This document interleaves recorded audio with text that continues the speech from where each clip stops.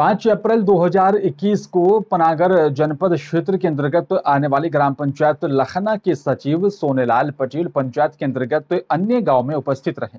उसी दौरान यहाँ पर जिला सीईओ, पनागर सीईओ सहित अन्य अधिकारी भी निरीक्षण के लिए यहाँ पर अचानक लखना पंचायत पहुँच गए थे। जहाँ पर मौके पर ही पंचायत कार्यालय में सचिव के न मिलने के कारण उन्हें यहाँ पर सचिव पद से निलंबित कर दिया गया था। और जिसकी विभागीय जाँच चल रही थी जनपद सीईओ द्वारा यहाँ पर सचिव सोनेलाल पटेल से विभागीय जाँच जो है समाप्त करने की एवज में लगातार बीस हज़ार रुपए की मांग की जा रही थी। सचिव ने यहाँ पर सीईओ को जो है नौ हज़ार रुपए पहले ही दे दिए थे और बकाया राशि ना दिए जाने के कारण सीईओ ने यहाँ पर जाँच प्रतिवेदन प्रस्तुत करने में कई दिनों से हिला हवाले की जा रही थी और साथ ही जिससे यहाँ पर ग्रस्त होकर सचिव ने अपनी जो है इस पूरी बारे में लोकायुक्त अधिकारियों के समक्ष सुनवाई जिसके बाद जो है बता दें आपको कि जनपद सीईओ उदय राज सिंह ने यहाँ पर अपने कार्यालय में उस सचिव से बकाया राशि दस हज़ार रुपए जैसे ही लिए तो लोकायुक्त ने उन्हें रंगे हाथ दबोच लिया। जिसके बाद जनपद कार्यालय में हड़कंप की स्थिति देखी गई।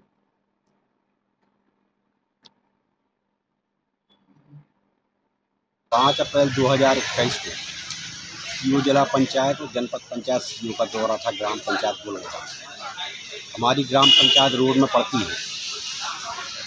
उस दिन मैं कार्यालय में होते हुए ताला लगा के 12 बजे के बाद पंचायत के दूसरे गाँव में था। जब इनकी टीम गुलौदा पंचायत से लौटी तो हमारे कार्यालय में ताला लगा। तो सीओ जनपद पंचायत द्वारा सीओ जल, जिला पंचायती गाड़ी को रुकवा कर और हमारी शिकायत की गई। दिनांक चौबीस आठ इक्कीस को प्रार्थी सोनेलाल पटेल जबलपुर लोकायुक्त कार्यालय उपस्थित होकर एक लिखित आवेदन दिया। सी ओ साहब, श्री उदयराज सिंह से मिला। तो उनके द्वारा उप निलंबी अवधि में, निलंबित अवधि में जो उसका कार्य था, उसको निपटाने के लिए उससे बीस हज़ार रुपये की रिश्वत की डिमांड की गई।